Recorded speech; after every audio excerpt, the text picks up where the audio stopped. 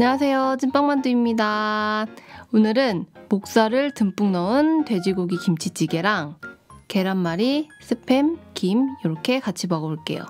그럼 맛있게 잘 먹겠습니다.